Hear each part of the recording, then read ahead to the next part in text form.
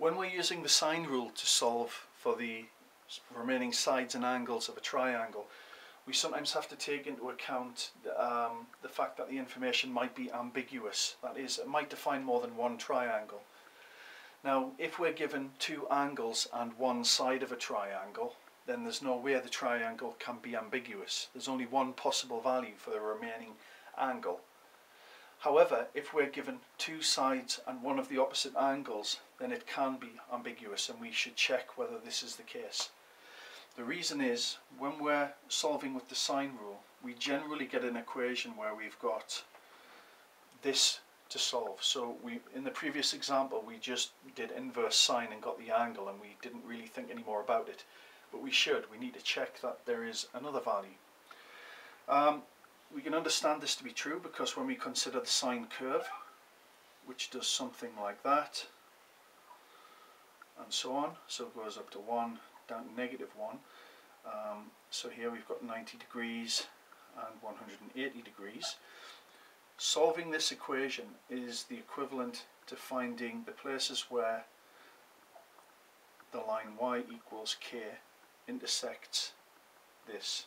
So this would be the value for A. So your calculator will give you the principal value.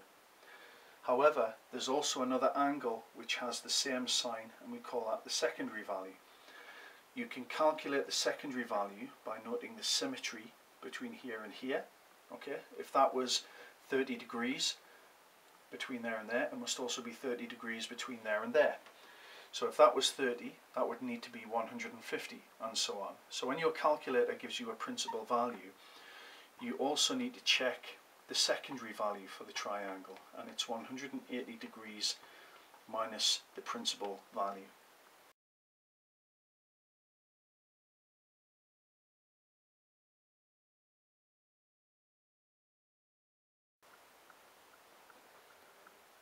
Let's examine the sine rule a little closer. There was a problem which I didn't allude to in one of the other videos about it. When we're using the sine rule, it's possible that the combination of sides and angles that we're given will lead to more than one possible solution. For example, if you were to give an engineer friend of yours um, these measurements for a triangle, so A is 15, B is 10, and angle B is 35 degrees, would they be able to construct one unique triangle, or would they be able to make two separate triangles which satisfy that information? There are some mathematical conditions that you can work through before you start a problem like this, but if you're in a hurry or it's an exam, then it's probably easier just to calculate the, the missing angles and see if you can construct more than one triangle. We'll begin by making a sketch of the problem. So let's have this as the side with 15 centimeters. That makes the side opposite side A. So let's have that as 10 centimeters.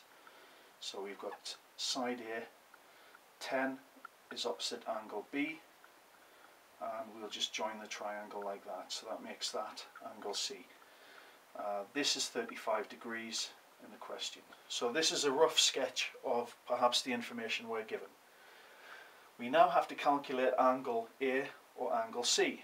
So using the sine rule, there's only one we can calculate at the moment, and that's angle A, because it's opposite a, a given side. So we'll try and calculate A. So writing down the sine rule for this problem, we've got sine A a 15 equals, and we've got to use this side and this angle. So it's got to be sine 35 divided by 10. So you can rearrange that to get sine A equals 15 sine 35 over 10 and your calculator will tell you that that's approximately 0.86 okay? So just to be clear we're solving the equation. Sine A is about 0.86 right. Now when we were doing previous work on trig equations we know that when we're calculating the solution to this our calculator will give us the principal value. Okay? So let's do that now. So let's calculate the principal value. So it's inverse sine of that your calculator should show you that it's about 59 degrees. Let's just work to the nearest degree. Um, that means we're given angle B, which is 35 degrees, and we can calculate angle C, by subtracting these two from 180. Okay, so if we do 180 minus 59 minus 35, that will give us an angle C, which is 89 degrees. So there we go. We've got one solution for this triangle. We can always do this. We can always get one solution at least. Now this value here that we calculated um, with the calculator was the principal value. But there's another one that your calculator doesn't give you. We should also check the secondary value. Okay. Now the secondary value is just 180 degrees minus the principal value as we've seen. So that means there's an alternative value for angle A. Okay, we could have had 180 minus 59 degrees. So another possible angle is 121 degrees. Okay, if you check, sine of 121 is also about 0.86. So we should check this. Our calculator could have given us this. Since we're given angle B as 35 degrees, can we calculate another angle for C?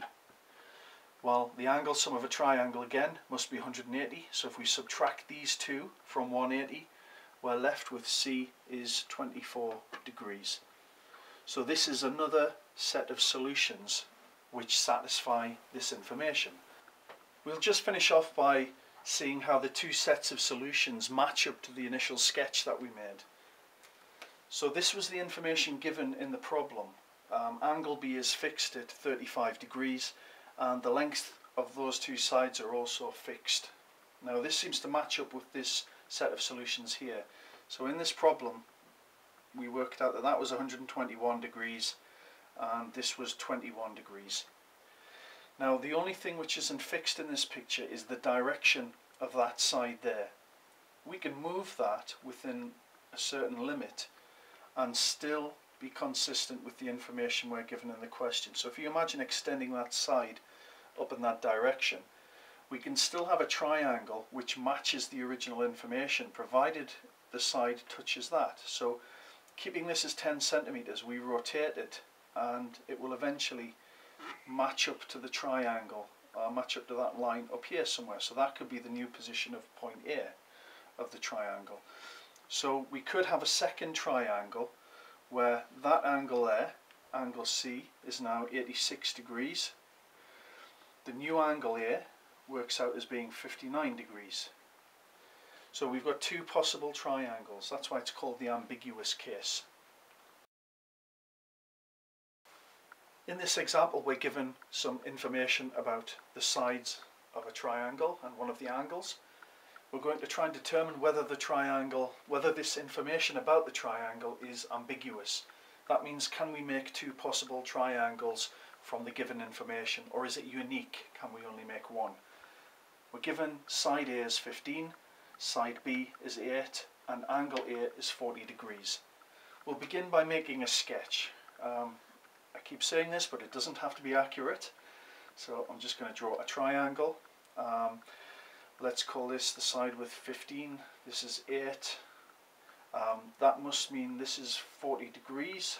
So we could label it up with the sides. So we've got A, B and C. Now, if we're going to use the sine rule, we've got to either find angle B or C. Now, it must be angle B because we know the opposite side. We can't calculate C yet because we don't know that side. So we'll write down the sine rule to find the angle B. So we write sine B over the opposite side, which is 8, is equal to, well we use these pair here, so it's going to be sine 40 over 15. So rearrange that to get sine B, which is going to be 8 sine 40 over 15 and your calculator will tell you that that's approximately equal to about 0.34 okay? Now what we're going to do now is we can obviously from this we can get the angle B by taking the inverse sine function. So inverse sine of 0.34 will give you about 20 degrees. Now we already know that angle A is 40 degrees. So we can use the angle sum of a triangle to calculate the remaining angle C, which in this case is going to be 120 degrees. So this is a very bad sketch. Okay, that angle is 120 degrees. Let's see if we can calculate another triangle. This was the principal value. So we should try the secondary value. Okay, the secondary value is 180 degrees minus the principal value. So a second possible angle is B is 160 degrees.